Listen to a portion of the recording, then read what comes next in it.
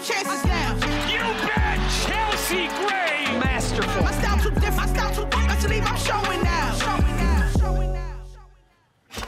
All right, she's a three-time WNBA champ. She's been a Finals MVP, a Commissioner's Cup MVP, three-time All WNBA all-time. I, I there's the list, by the way, when we introduce people, Chelsea. This one's a little bit longer than usual. I'm not gonna shorter. lie. It's a, it's a lot going on here. Very decorated. But the three titles, you got one with the Sparks, two with the Aces. Does one Yeah. stand out above the others? Um, I think this last one stands out a little bit more. Like we heard so much noise throughout the entire season, and to kind of quiet it that way, um, it was different for me, right? I wasn't playing in the closeout game, but like this one was just huge because of all the adversity we had hit throughout the entire season. I like that. Chelsea, you, you, you win a couple MVPs in 2022, so I'm sure it was frustrating for you to be, to miss the closeout game in Game Four of this past uh, WNBA Finals. What was that like for you? What were your emotions? How did you feel having to sit out and, and have to cheer cheer on your team from the bench for the closeout game? Yeah, the competitor I mean, like it, like you dream about playing in the finals and like th- that closeout game. It's even sweeter to win it on the road. I've never won a championship at home, and so I understand and I love that feeling. And so I had like 24 to 48 hours where it was hard, like just understanding that I wasn't going to be able to play for the rest of the season. Like even if it went to a game five, like I wasn't going to wasn't going to be able to play. Um, so I took that time and was kind of to myself, but then I came around the team a little bit more, uh, just to see them, just to see them, and it helped me and it helped them. Um, but I, I turned into a coach real fast on the sideline, like just yelling out plays, remembering scouting reports. Like I was locked in from the beginning, and then when we won, I, I threw the crutches and everything. Nothing else mattered. How's your foot doing now? Hopefully, hopefully it's doing better. Yeah, it's doing well. Um, I had a minor surgery on it to get it all repaired, and uh, my foot's feeling better. So I can't wait for next season. All Those right. rings about to be nice. Chelsea, I don't want to be creepy, but I was actually sitting across from y'all's bench for that closeout game, and you and Candace Parker just chirping at the end. I was like, "This is the show within the show," and I just kind of kept watching you two, and it was it was Yeah. awesome. That's just my own side note. I just wanted to share with you. Uh, the Usher situation, the videos Man. that came out were fantastic. um, but to be invited to the concert as a celebratory moment, how was it? How, what, how does all that unfold? Yeah, well, it was not like broadcasted so much, but it, I mean, you saw it a, a little bit. Was that we got caught on stage before this, so I'm walking up there with the boot, not knowing what the heck to to expect. Um, and they played music and we're dancing, so it was a fun vibe. And then he came to our area because A'ja had called him out a, a few times throughout the years. Um, but it was cool, man. He's a great entertainer. Uh, his music is like timeless. Like you can listen at any moment. Um, it's like we grew up with, with his music the entire time. So it was kind of like a nostalgia with it, but like it was super fun and really like get to celebrate it with him as well. It's a good party. Chelsea, you guys became the third team ever to go back to back uh, WNBA championships. Sparks did it, the Comets did it. Where do you guys rank when it comes to back to back champions? Oh man. Of course, nothing. Um, the legacy and, and the and the script is still being written, right? I think um, the Comets kind of done it, did it first. I think we're working our way to like have that legacy of the Comets of like the inaugural seasons and like being able to do that. Um, but ask me next year, and we'll be, that'll be the best dynasty. That'll be the best. yeah. You've played with so many talented players throughout the course of your career and had so much success, but you got to tell me, what's it like playing with A'ja Wilson? How's that? She's amazing, man. Like I, came to this team three years ago, right? And each year you just see improvements, and I think that's all you want want out of like your franchise player. Like they come in, you know, they have a target on their back. Like you want them to get better each time. And like she's added to her game every second, so it makes me look like great. Like there's passes that I make to her. And I'm just like, I don't know. I, I feel like you're the only person that's going to be able to catch right now, so I'm going to just throw it and she catches it. She has great hands. She has great touch, and like, she's doing it on both ends. Like to be able to be in shape like that and do it on both ends consistently, um, it, it's amazing. And each year she's getting better. So it's a luxury to be able to play with somebody like her, and she's adding to her legacy starting at a very young age. And fun. Right. Like, she's fun. Right, super fun. On and, on and off the court, you guys have so much personality and y'all have so much fun. I, I enjoy watching you guys um, at the press conference, having having a little bit to drink and en- enjoying that moment. Who who would you say is the funniest person on that Aces team? Man, it's like a me sometimes. It's Sydney Colson. It's A'ja. Like everybody Sydney. has like their own little comedic like time.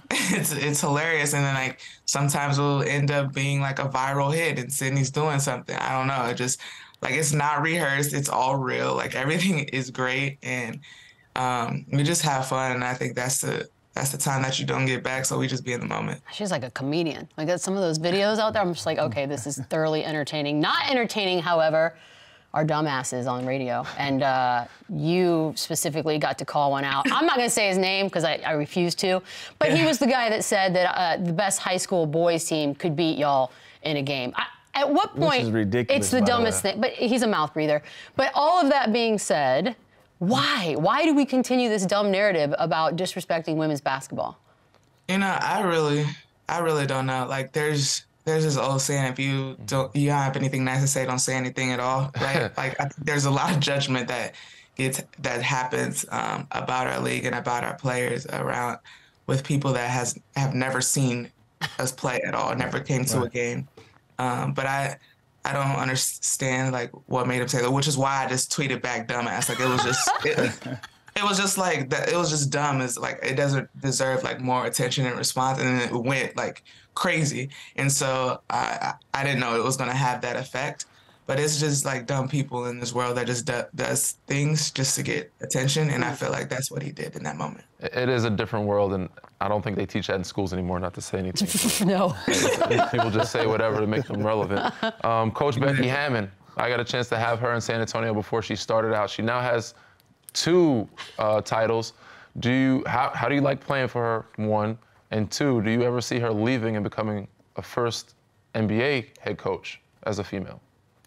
Um, I said this in an interview like a, a while. I think she's the best coach I've ever had. Uh, I think she does a great job of being able to hold somebody accountable and be in the moment and enjoy it as well and have fun.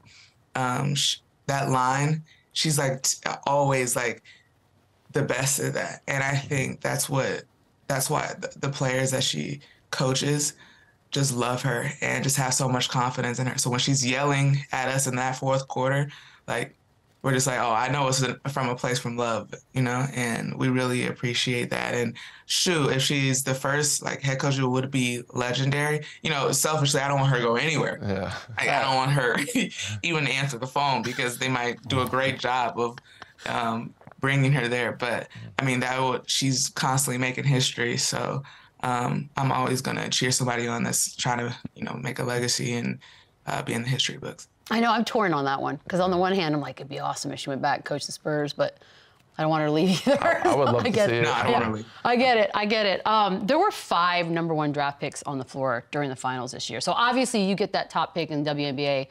That's good stuff. If Caitlin Clark leaves this year and decides to enter the draft, like how impactful do you think she'll be right off the bat? Yeah, I think there's always a learning curve when you get to the league. Like now, h- no, no matter how great you are in college, right? Defensively, I feel like it's the hardest part to like adjust to when you get to the league. Um, so that will be an adjustment for her. But there's she can flat out shoot the rock. Um, you have to be on the up on the screen. Even I think there's going to be times where there's players around her um, that's going to draw a lot of attention, and there's going to be more open shots for her in the league than there is right now. She has a lot of attention on her at Iowa. Um, so it'll be interesting, like fit and like the players around her is also um, a deciding factor. But I think she's going to continue to get better. Do you, if she asked for you your advice, would you would you say stay or would you say no? It's time to time to get to work. Um, I think it depends where she wants her career to go. But if I was in college and NIL was what it is now, I would be staying until probably like six to like six years. You know, college college is a great time, and you get um, it's like you're you're, you're making money. You're preparing yourself for after college. Um, it's an opportunity to see what you want to do after basketball. So, I if I was in that position, um, I would stay. Chelsea, your, your guys' playing style is the most fun in the league to me. I enjoy watching you guys play. You had a behind the back pass to A'ja Wilson early in the season. Uh, fire. Steph Curry shared it. A lot of people gave it love. Tyrese Halliburton called the best pass he's ever seen. What did that mean to you? Um, You know, I just was like, if, if I'm gonna do it, I might as well just try, and it has to be to A'ja.